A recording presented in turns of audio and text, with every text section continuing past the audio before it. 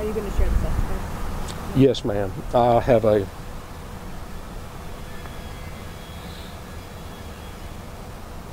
His name is Todd Lamont Harper.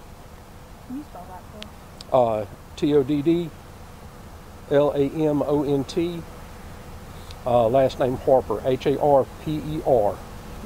And here is the booking photo that was taken of him uh, just a few minutes ago. How old is Harper? I want to say he's 57 years old.